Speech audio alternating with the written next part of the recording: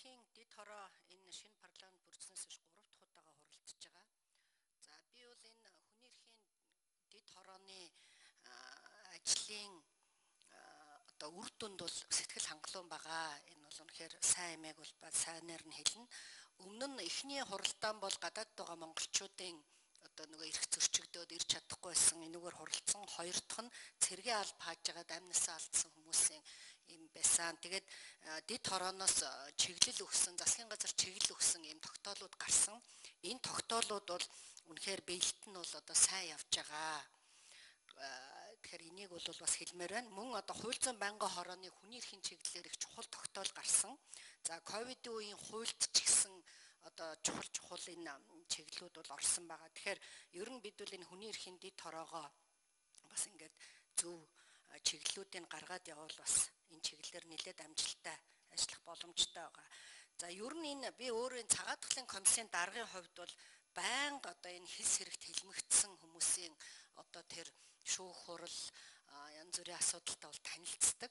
Тэгэхээр та нарт бол энэ бол аль дээр одоо 30 эдэн он юм шиг санагдах боловч энэ бол өнөөдөр бас бид нар энэ хүний эрхийг ярьж байхгүй бол энэ маш одоо ижил нөхцөл байдлууд бол үүсээд байгаа шүү. Тийм учраас би бол байнга одоо энэ хүний эрх, хүний эрх, улс төрийн хэс хэрэг гэж одоо байнга бас ингээд хилээд байгаа нас нэг ийм учиртай юм аа.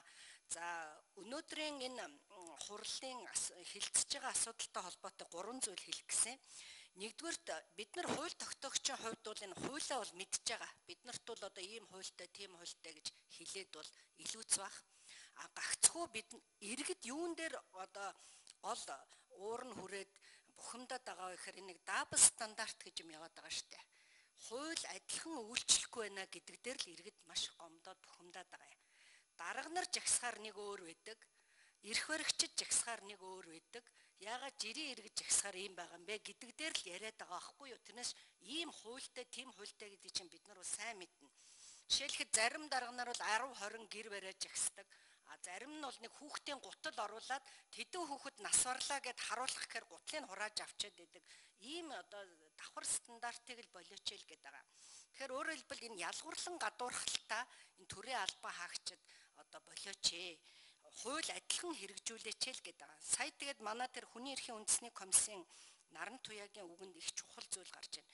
Төрийн албан хаагчийн хандлага их чухлаа гэд нэг хэсэг хүнд нь өөрөөр хандаад энийг л хурдан намжаагаал хурдан зогсоохын төлөө л ингээд чиглээд байна. Тэрээс энэ хүмүүс яг хөө үзэл бодлоо чөлөөтэй илэрхийлээд таргэ гэдэг ийм чиг хандлагаар хандахгүй байна гэдэг дүгнэлт бол зөв шттэ. Ийм байгаа. Нөгөө нэг асуудал бол улсын хурлын гишүүд дотороо ч гэсэн ялгууртай ханддаг.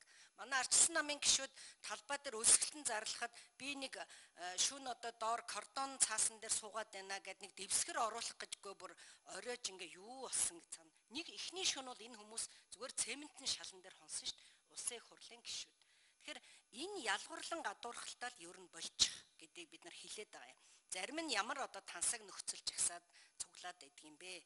Жирийн иргэд болон цөөнх одоо яагаад юм байд юм бэ гэдгийг яриад байгаа. Тэгэд хүний эрхийн үндэсний комиссийг бол би сайн ажиллаж байгаа гэж бодож байгаа.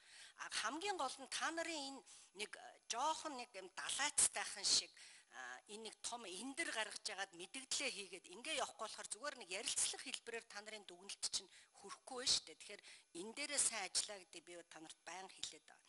Хоёр дахь асуудал бол энэ мөрдөн шалгах нэрэдлэр төр өөрөө ийм их үс хонзон санж юм залхаан цэр одонтой гişүүд нэмэлт 1 минут. Залхаан цэрлүүлдэг байдлаа зогсоол доо. Тэгэхгүй бол ингэн энийга бойл одоо тэр өмгөөлөгчийг нь одоо хэрэг үүсгээл хорж явах ямар хэрэгтэй ямар завтай юм? Энийга болох хэрэгтэй. Тэр төв музейг нураах гэж хахад би би өөрөө энэ эргэн од хоёртай нийлээд бас жагсажсэн л да нэг кордон цаас барайл зогссон. Ямар ч үр дүнгүй шүүхээр явсан үр дүнгүй. Тэгэхээр энэ залуучууд чинь арай нэг өөр хэлбэр сонгох гээд ш тэр нэг хүүхдийн гутал оруулж тавиад эсвэл одоо нас орсон хүмүүс дээр нэг ийм өөр арай нэг хүмүүсийн анхаарал татахаар нэг жоохон үг хэлээ олцох гээд ингээд жагсаад байна. Тэгээ энийг нь ингээ хориглоод байж болохгүй. Тэгээд Дорнод аймагт байгаа тэр нэг бичлэгийг ил болгосны төлөө одоо ингэж гэн гэл хүмүүс яриад байна. Ийм одоо залхаан цэрлүүлдэг юм а болоо гэдэг хэлмээр байна. За гуравт нь бол энэ цагдаагийн байгууллага энэ хүний эрхийн мэдлэгээ одоо сайн дээшлүүлээ Гэхдээ тэр нэг хүмүүсийг жагсаж байгааг тэр гулдчихж байгаа ямар муухай харагдаж байна. Тэр